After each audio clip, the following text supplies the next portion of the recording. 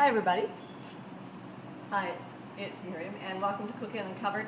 Tonight I want to show you how to operate a commercial can opener. Now this of course is for my students at school, but this is a um, piece of equipment that's so uh, useful, but people get it wrong all the time, so I want to show you. So come on in, and I'm going to give you a, a, a little tour.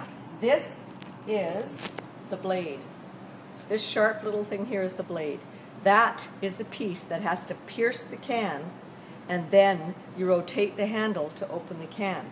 This has to be cleaned all the time. So you take this away and with a brush, this is scrubbed and at the hand sink, um, sorry, at the prep sink, it's scrubbed so there's no debris and no food. Of course, food safe is very important here. So the whole can opener fits in its own holder. When the, when the handle is in the upright position, straight up and down, it is unlocked. When it is down, it is in the locked position. So I am going to unlock the can opener. I'm going to lift the can opener up and slide my can in. Now, with very quickly and with determined, with a determined jab, you need to puncture the can so without crushing the can. So I'm going to hold my can and slide that pointed blade in. Now I lock the can opener in place. Now it's locked. It can't move, it can't come out. Now I turn the can, can opener and I open the can.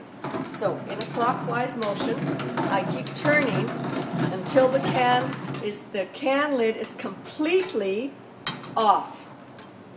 This is put on the counter and it's left for recycle. Now my product is exposed. Now I put the blade in the unlocked position.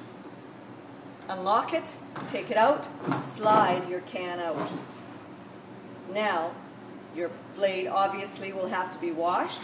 Now it just goes down and you take your can and you add it to your chili or your soup, whatever.